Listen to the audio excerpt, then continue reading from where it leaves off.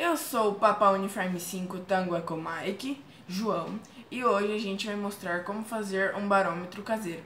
Para fazer o nosso barômetro, vamos precisar de cola,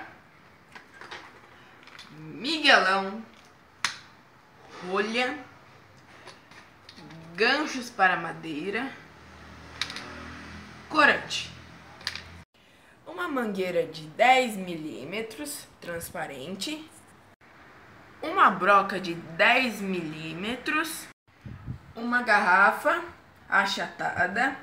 Essa é de Martini, que meu tio bebeu tudo. Uma pistola de cola quente ou a cola de silicone líquida.